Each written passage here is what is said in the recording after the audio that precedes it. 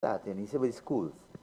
And I said, if you're starting with the schools, what is the relationship between Ministry of Sport and Ministry of Education? There is no nexus. There is no nothing joining the 2 And I, I spoke nearly every school I went to in South, from Claxton Bay right around the place. Must be about 15, 16 schools. And uh, I know nearly every sports teacher. But then I walk in with you, where you going, what are you doing, where you want? And uh, so it starts with that. But then the follow-up from the school is not there. Right? It's not there. So I tell Gabi, I say, hey, when I serious, I'll come back. Yeah. Because I met some netball netball coaches in the ministry, and for a whole year they're coaching three and four people. No development as far as that go. So one of the first things we have to do is get. We talk a lot about Jamaica. Jamaica sports is part that that must be more, more important than maths and English. So that is where they get all this spoon factory from. Right? So that is that. But then I met WPC. And when I spoke with her, her commitment to this education disciplinary drive mm-hmm. was so good that I said that I could share. Yeah. I could share in that. I am willing to, and nobody had to tell me about time of the day because I don't work nowhere these days. so if she said 10 o'clock in the morning, mm-hmm. I will find the time to go and talk to these young people. And I have an experience coming out of my previous life. They call me and tell me, hey, we want to start a project, but we're taking 40 students 10 is a sportsman. And uh, people like Russell Latapy was one of them. Leonson Lewis. They were part of, they were part of my group. And then they have the ordinary people, those not non-sportsmen. And when I spoke with them, they were both saying I was in the black book. The next uh, other than then the black book. I say the problem all they don't understand is I am the black book. Mm-hmm. There's nothing all they could do that I don't know. Mm. I even tell Russell and them, I say, hey, are they trying to get with co-award, that was with co that time? Yeah. I say, I get nominated for that three times, you know. I say, so all they following me, so I only have a direction to go in. And I recognize that a lot of the things that WPC is fighting with is the people who we losing mm-hmm. are Yeah. people nobody listening to, Yeah. Yeah. Mm-hmm. Yeah. right? Sometimes you talk to them and you recognize they, they, they're frightened. Mm. They don't know what next to do. The people who in their close knit community not getting them the support mm-hmm. that they want. Right? So I sort of had one of the, this is just an example. I talking to one student, the next one came, and he started to write up my desk with chalk. So I just move aside so and let him finish. And when he finished, and I finished dealing with his next student, Uh, I said, Clyde, come, come. I say, you see that mark you marked it? Get a wet cloth. When you finish, my desk must be new brand, know. You say, I'm not doing that. I say, Clyde, you're not hearing me. I want a new brand desk. Otherwise, you have to get paint and paint it, you know. And he pull up his chest. And when I realized that he getting serious, I said, Clyde, here what happened. In the army, when two soldiers want to fight, just take off their shirt so that they have no rank. A sergeant fighting a corporal, they go get locked up. Two bareback man fighting, not nothing. And take off my shirt and I hang it up. right? You run and you get a big bucket of water and you wipe it down. You say, "You mad. if you show fear for these people, Yeah. if you are willing to back off, they will push you like any five-year-old will push you. Five, I don't know whether I'm five-year-old Let's get the brain. But you tell them, don't touch that. They'll look all about it and put their hand. Yeah, they're testing you. They will test you. And these fellas, they will test you because they want, they want somebody to listen, you know. They want somebody to listen, Yeah. somebody to show care, Yeah, yeah, yeah. right? You need to know how to approach them as well. And you can't come buffing. Mm-hmm. You can't come buffing them. What, what's the real problem? Tell me. What it is you want? What do you want out of this? See, because anger is bring anger is Yeah, bring pure anger. anger. it's a Yes. If you come angry at me, I come back angry at you. Mm-hmm. Yes. So, me and my 30 people, none of them, not one of my students from Russell, Latapy, Johnson, Lewis, all of them, they don't pass me nowhere. Them just stop and talk with me. Mm-hmm. Them just see me first and come. Mm-hmm. Because we developed a relationship. And I'm saying this to say what WPC is trying to do is not develop sportsmen per se, but to develop young people to be whatever they want Yeah, to be. yeah, yeah. She's going to get them to understand you can be whatever you want to be if you apply yourself. Right? I have a lot of, I, I did a lot of dealings with post undergrads and things, and I tell them, anybody, don't feel you're bright when you get a degree. You're bright if you could apply what you learn Yes. to the yeah. situations you are in. Because anybody who apply themselves can get a degree. Anybody.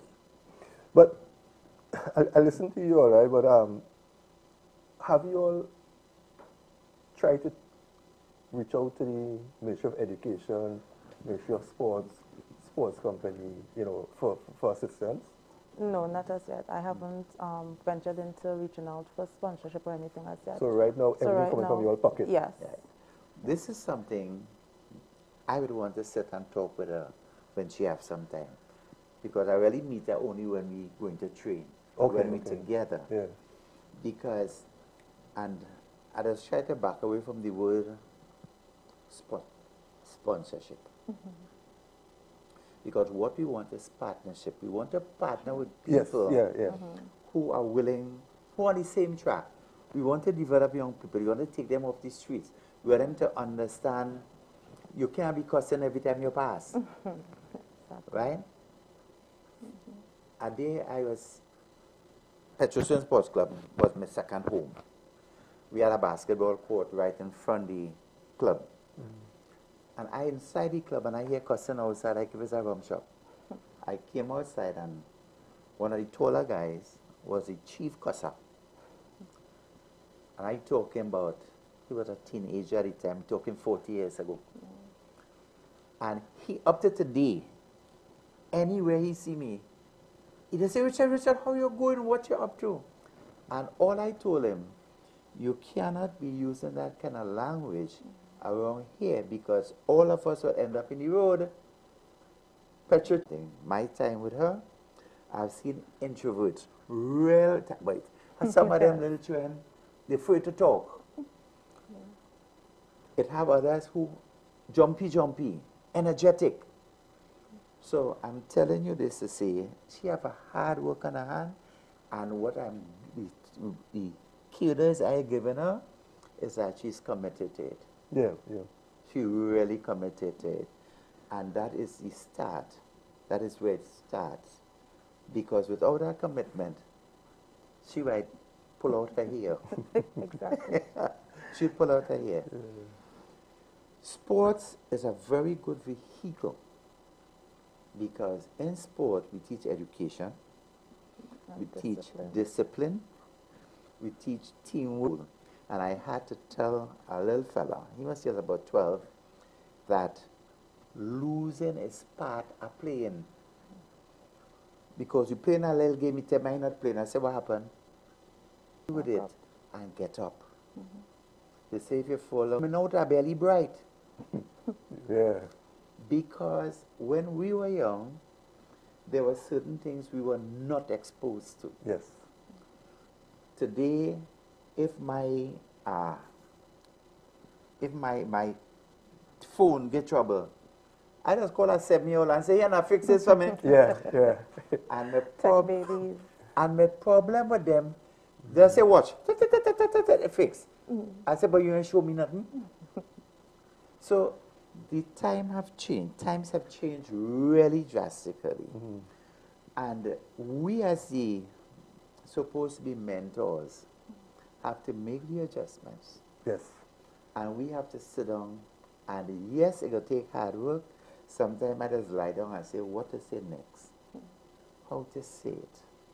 How to get them involved. How to empower them from young. I see the problem is too with young people making children now, you know. Mm. So some of them who make the children now, they don't even, they ain't even fully mature, so they really can't teach. Yeah, exactly. You understand? And that is where the, the, the real community leader is supposed to come forth now and try to, you, you know, as, assist. But that's what we're not getting. Right. Because I have heard el- elders say not me and them, you know. Them question their mother who is me. and uh, well, this one hurt my heart the other day. I think it was Superior West. A young girl on TV on um, in a classroom had a poor teacher trembling in Oh, yes, front. that's Oh, yeah, yeah, okay. yeah. And she take up her phone And call, and call a li- call call somebody. That long can't be she mother. long ago, you couldn't do that. You Long couldn't do that. You couldn't call your mother. You call, she called somebody, that can't be she mother. Mm-hmm. And then she come quick. Because this one so teacher here gave me trouble. Yeah, yeah. I, The mere fact that she was able to do so and the mother entertained that conversation for that long, it just shows that what it is they allow will continue. yes. Yes. Now I tell people when they ask me, you say, waiting for that. I say I had a Chinese father who didn't used to talk hard. And I had a Spanish mother who used to be bad, bad, bad. if I raise my voice from a mother, I used to hear my father in the back saying, Bade, and that's all he had to say. because you're not permitted mm-hmm. To do I that. need to hold that thought there for me. We need to take a break, right? Yeah, you take. Viewers will be right back after the short break.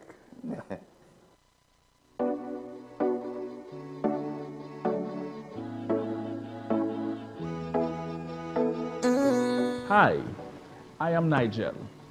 Quote Me Today is your daily motivational segment to start your day right. Join me Monday to Friday, 9 a.m. right here on NCBN. Remember, wake up with a smile. Today is your day. when we festin', we just spend God when we. We just jam down when we.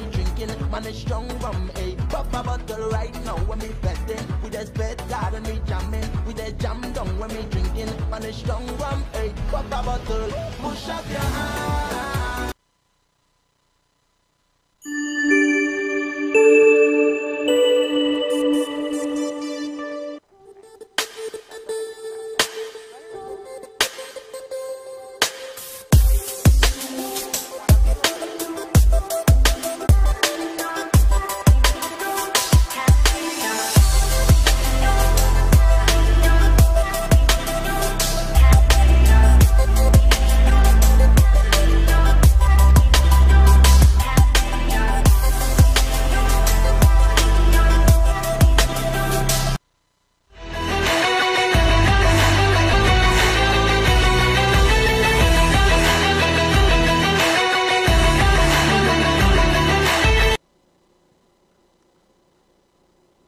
Welcome back, viewers. Welcome back to Saturday Sports, and we are talking sports and education with Miss, what I should say, or WPC.